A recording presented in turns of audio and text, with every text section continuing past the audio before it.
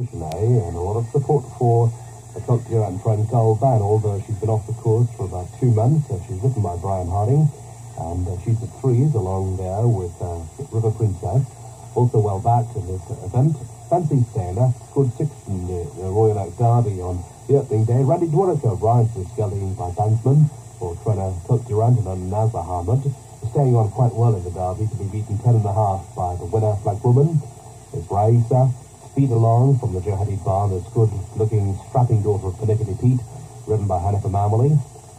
Speed along number nine, the Silver Spray, Battle Chance. So let's go up to the start, 17 20 metres in race seven for the F3-year-olds and over going the distance.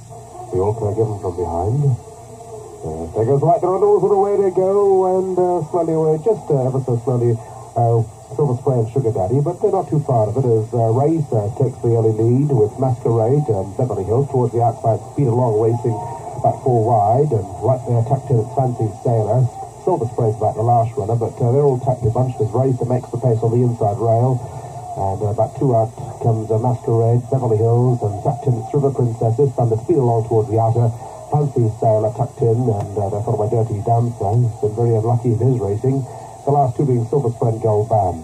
So they've got about uh, 1,200 metres to race and the pace of the stage. Masquerade on the rails leading and uh, towards the outside, speed along right there, speed along and in between horses Beverly Hills and this group of three followed by Fancy Sailor, just about a head clear of Racer, then they're followed by Battle Charge and his Thunder, his Thunder towards the outside, Silver Spray between horses, Sugar Daddy with a bright pink going right, right up on the outside, Gold Band racing last, They've got about uh, less than 800 to race, and Masquerade and Speed Along make it here.